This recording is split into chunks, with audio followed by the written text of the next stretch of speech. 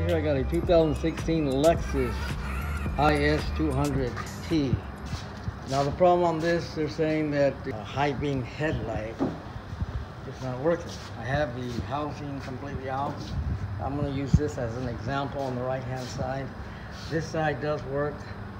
Got your high beam or your regular lights on and when I turn the high beam on it uh, goes on.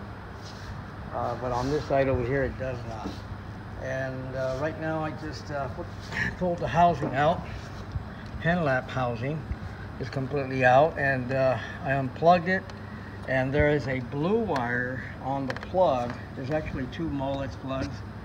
This one here, I got the headlamp upside down. That, that's upright, that's upside down. And you'll see two plugs. Pop this plug out, that's the one that's near to you and there is a blue wire and that is your high beam. Now what I'm going to do is going to put my probe on there and it should light up red on the LED light indicating that there is power in the high beam circuit. So I got the key on and as you can hear it's throwing out a positive. So that tells me that the system is working from the lever of the high beam uh, switch or the lever and it comes all the way down to the blue wire right where it plugs into the housing and that's what I got now okay so the problem's in here.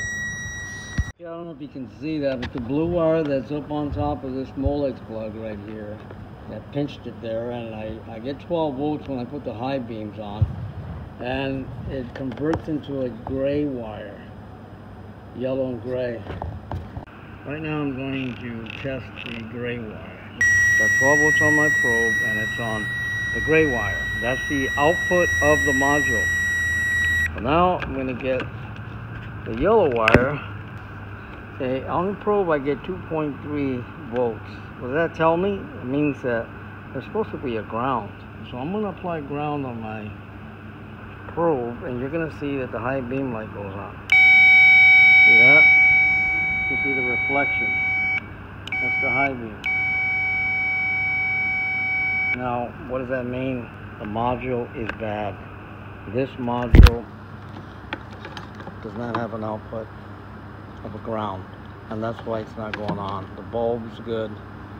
And that's it. They just need to replace that and he's good to go.